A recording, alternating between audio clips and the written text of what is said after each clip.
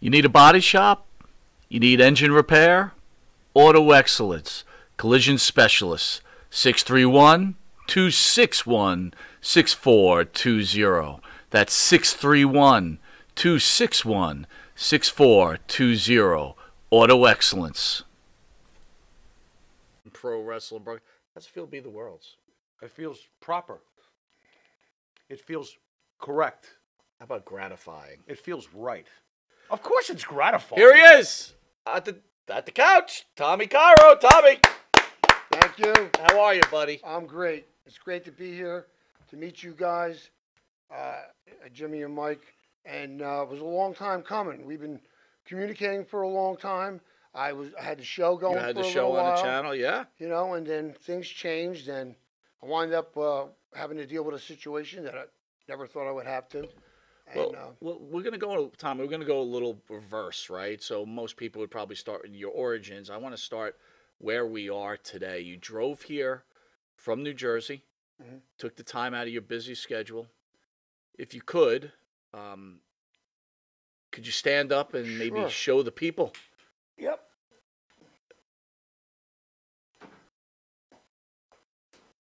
Let me hit the robotic activation. There you go. Okay. So if Will you see me if I walk a if anyone could see, Good there job, he is. Abe. All right. All right, Tommy. So if anybody doesn't realize, Tommy now has a prosthesis leg, right? Yep. So let's go. Let's Okay. tell the fans Okay. what happened to you, Tommy Cairo, last summer I to will. now. So um, I'm lucky enough and blessed enough to have worked hard enough between my wife and I to finally have a little place that we could go to that we didn't have to rent out to offset the cost and all of that. And we wound up with a beautiful place in a gated community with a private beach down in Virginia. So I'm down there by myself.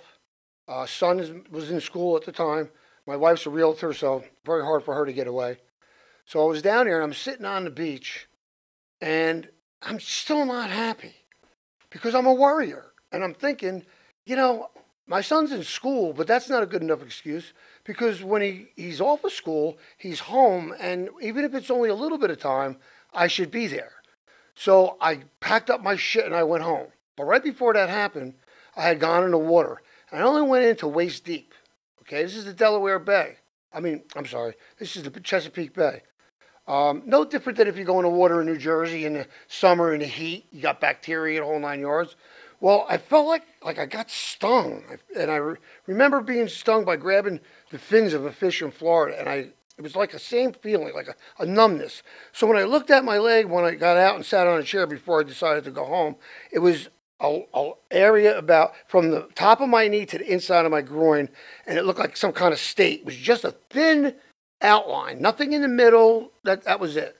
Well, you know, I, my But you could see a line. you could see it. Yes, So are you like, whoa, what is this? No. Or- no. I'm like we all are. Yes.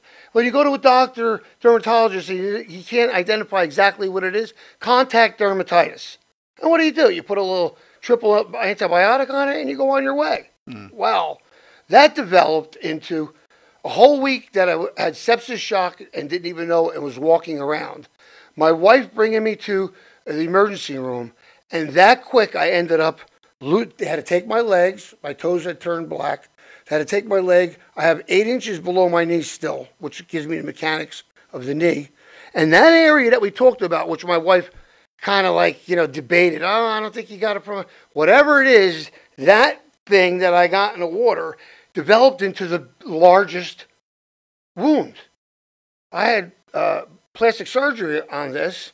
To wear a wound vac and a whole nine yards, and it hit different areas. And if you know uh, that um, pneumococcal and that flesh-eating disease, which gives you the sepsis, it doesn't discriminate. Uh, it can hit you in four different areas that aren't connected to each other. So I got my foot, my toes, chopped it off. Then I had an area here and this big area here. On top of that, because I was down between rehab and a hospital 74 days on my back, I wound up with a bed wound on my butt, which lasted healing wise as long as everything else. But I think you're almost understating it Chris. who, us who were friends with you and people even closer to you, you were close to death. Okay, so my wife had to fill in the blanks for me. So I get ex- go into the hospital, an emergency room, and um, all this just moves so quickly. Well, so, let me let me just ask you a question. You see this line, all of a sudden, are you seeing things happening to your leg that you're like, I No. need to go to a hospital? no, What makes you go to the My hospital? My wife. Your wife. I'm taking you to the emergency room. I don't remember that.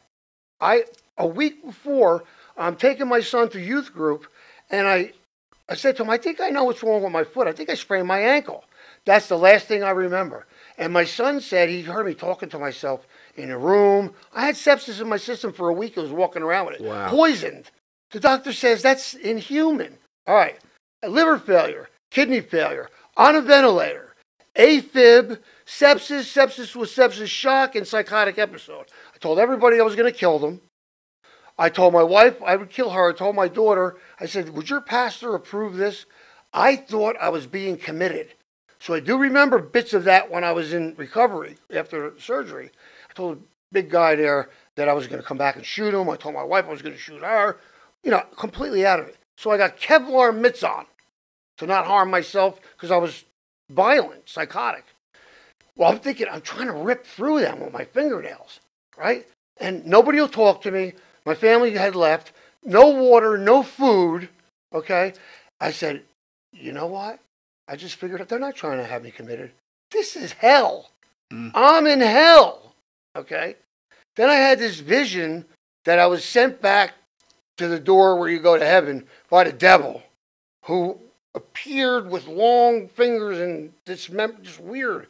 This is like I don't know if this is like part of the psychosis or whatever, or if I almost died and I came back. Don't know. Fact of the matter is, I should have been dead. You know, 65 and still alive. So my wife gets the word that your husband may not make the, the night. So she contacts my friend, Paulie Bycow, equalizer from ECW, my, my heart, my, my top guy. And uh, she, she says, you know, they told me he may not make the night. He said, don't you realize who's laying in that bed? You've been married to him all these years. That's the fucking Iron Man. He's a tough son of a bitch. He ain't gonna die. Three days later, this doctor worked on me like a fucking animal. I wake up to an Indian doctor standing down looking at me, and I love them guys because they're so smart. And he said, All your levels are back to normal. What? I don't even know what he's talking about. Right. All that had to be filled in by my wife. So I was walking around poisoned, should have been dead five different ways, and here I am. Thank God. Lost my leg, but it's either this or six feet under. Now, did they figure out what they think happened in the water that day? No, uh, I somehow got the flesh eating eating disease. Um, I believe that whatever stung me, of course, was in, infected because it's in the water Right. and it's July and it's hot, right? So all the right conditions, and I'm a diabetic. So to tell you how cautious I'm being, I went back to Virginia.